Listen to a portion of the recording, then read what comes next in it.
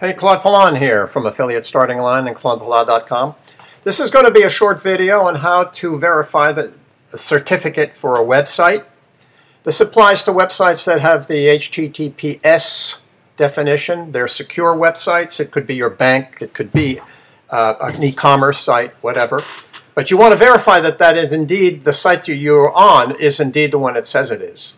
You do that by going to the lock. And in this case, Chrome, it's a green one. You double click it. You're going to get a drop down. The permissions will show you the kind of cookies and stuff that are being loaded by this site. But connection here, you want to click that, and then you see certificate information, you want to click that link. And here's the certificate. You want to go to details, and it shows you who issued the certificate that indeed it is google.com, and it corresponds to what I see up there. And it tells you a little more details about the information. So I know that google.com is indeed who it says it is. Now in Firefox, we're in Firefox right now, you're going to go here, the, the, the lock isn't green, it's gray, double click it, and then you can see you're connected to google.com, more information. You want to click more information, and then you're going to come down here to view the certificate. And you view the certificate, and now it's going to give you all the information, and what you see here should correspond to what you have in the address bar, just like before. And then it gives you a lot of details about who issued the certificate, etc.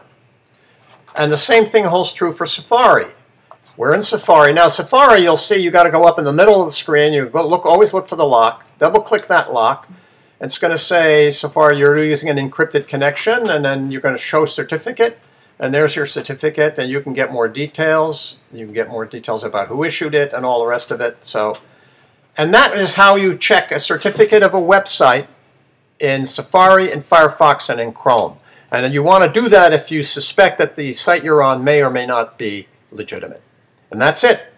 Hope this video has helped. This is Claude Pelanne at Affiliate Starting Line. Stay with it. Stay well. Talk soon.